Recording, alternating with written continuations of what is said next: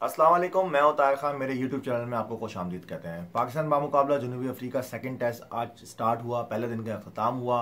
अख्ताम कुछ अच्छा नहीं हुआ। वो इसलिए अच्छा नहीं हुआ कि बारिश ने खेल रोक दिया। टी के वक्फे के बाद का खेल बारिश ने रोक दिया। उसके बाद तकरीबन दो घंटे का खेल ज़ाया हुआ और फिर जब दोबारा इंस्पेक्शन हुई और एम्पायर्स गए तो फिर वहाँ देखा गया कि जो वेट आउटफील्ड की वजह से आधे घंटे पहले मैच ख़त्म कर दिया गया।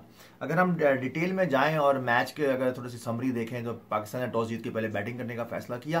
पाकिस्तान की टीम अनचेंज थी, वही प्लेइंग अपने विनिंग कॉम्बिनेशन के साथ गई और साउथ अफ्रीका ने एक चेंज किया था। मोल्डर आए थे निगेटिव की जगह। बाकी उनकी पूरी rest of the eleven same थी।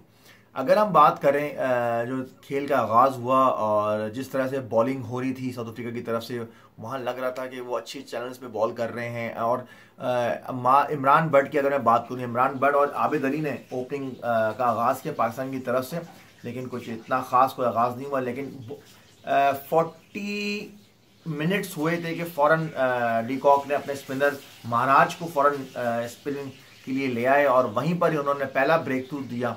इमरान भट्ट की सूरत में और कॉट बिहाइंड हुए अवेदा बॉडी खेले थे काफ़ी बाहर खेले थे वो अगर छोड़ भी देते तो वही इतना सच कुछ नहीं था लेकिन अवेदा बॉडी खेले वहाँ पहला नुकसान हुआ दूसरा नुकसान पाकिस्तान को आबिद अली की सूरत में हुआ कि जो आ, अगर मैं बात करूँ तो आ, नोकिया की गेंद पे आउट होते जिस तरह से वो फ्लिक कर रहे थे और बहुत ज़बरदस्त एक खूबसूरत कैच पकड़ा था।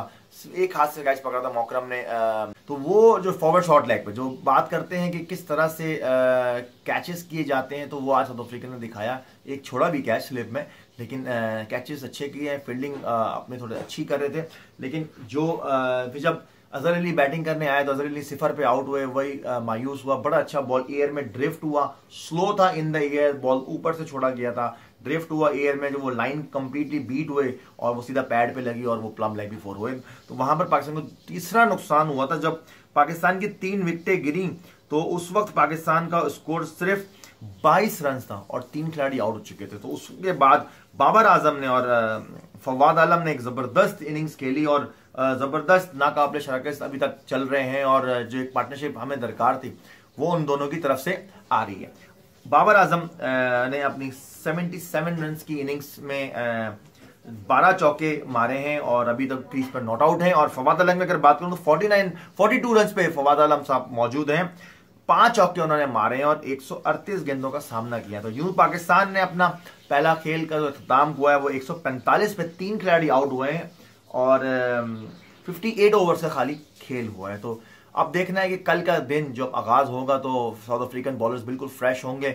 हम भी फ्रेश होंगे, हमारे बैट्समैन भी फ्रेश होंगे, लेकिन एक नए माइंडसेट के साथ, एक नए प्लान के साथ, नए एग्जीक्यूशन के साथ हमें कल उतरना होगा क्योंकि कंडीशंस जो थोड़ी सी सुबह के एक आध घंटे में वो सपोर्ट करती हैं वहाँ फास्ट बॉलर्स को रावल पिंडी क्रिकेट स्टेडियम के अंदर। अब के, क्योंकि जो मैं महाराज की बात करूँ तो महाराज सुबह तो बड़े अच्छे बॉल, आज सुबह तो बड़े अच्छे बॉल करते लेकिन कल देखना है कि जो आने वाला सेकंड डे होगा, उसमें किस तरह से वो बॉलिंग करते हैं। और हमारे जो आने वाले बैट्समैन हैं, जो बाबर आज़म 77 में खेल रहे हैं, बाबर 77 को 100 पे कन्वर्ट करें 100 से 150 पे कन्वर्ट करें फवाद आलम 42 से 50 150 पे जाए 50 से 100 पे जाए 100 से 150 पे जाए।